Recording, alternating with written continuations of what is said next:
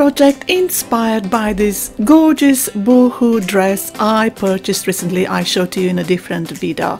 And I thought it's a stunning summer dress but it needs something. And I decided to make some organza flowers for which I have used these beads. You can see here I have also used that felt fabric you saw briefly there in the now left hand side corner.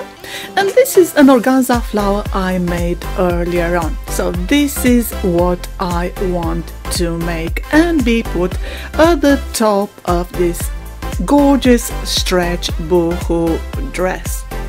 So my method involved using this metal uh, stencil which I purchased some time ago as I tend to buy my stencils in bulk from different locations around the world. And uh, this one was purchased for making my uh, craft projects as you saw by now. I really like making all the time throughout the year.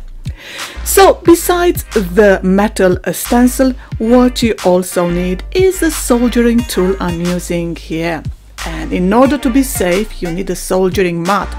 As I don't have a soldering mat I decided to use this ceramic mat which I used in most of my projects because you need something which is non-heat conductive. Of course you'll need a glue gun later on and you'll need if you want beads to put on top of the flowers. As a base, you also need something to add it to your dress or if you want to add it to say hairband or in anything else and you need for that a felt fabric which I used from my projects. I tend to make all kind of craft projects and I rarely throw anything away. My method involved using a felt base as you can see here one piece of organza flower for the base and then six pieces on top which I will fold into as you can see here and I will glue them with the uh, glue gun. So you have to remember the soldering tool is very hot the glue gun is also very hot so you have to be very very careful when using these two items Instead of organza, you can always use satin or any other, other thin fabric you think that might suit your project. So as I made 10 flowers, I needed 70 pieces of this item as you can see here and they're carefully folded into and then positioned on the felt fabric with the organza on top. So this is my method. You might have a different way of making these gorgeous flowers. What I decided to also do was to add some plastic beads on top, which I tend to use also in my craft projects when I make cards for the loved ones and I send them around the world. So that is why I have got so many uh, beads in the house because I keep purchasing them in bulk from Amazon or eBay so thus I'm paying very low prices. Sometimes you can find them in different shops like Poundland or Dollarama, Dollar Tree as you find in North America.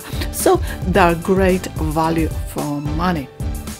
The next step is placing these flowers on the dress, which you're going to see pretty soon after I placed all my beads on top and I glued them with a glue gun. There is no need to use any thread on this. So this is brilliant. You are saving lots of time and the flowers are even going to be glued using the glue gun on the dress. So it was safe, but clearly you will have to check with your each project how safe your fabric is going to be to add everything with the glue gun. So you are saving lots of time. And what I decided to do also to use the the organza remnants. I did not throw anything away, so I decided those remnants to cut them in bits and then put them between the flowers like hanging down like some kind of uh, long uh, threads. So I was very very happy with this method. It made the dress appear even more interesting as you are going to see pretty soon.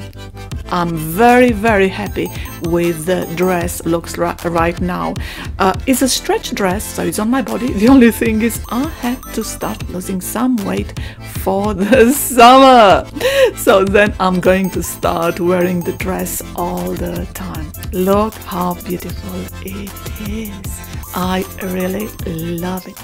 Well, as ever, I hope this project inspired you too in making similar modifications to your dresses, beautify them and never throw anything away. I am so OCDishly organized even with my junk. I always organize it in boxes and everything so it's kind of organized clutter around me. As ever, thank you for watching and have a very nice day. Bye.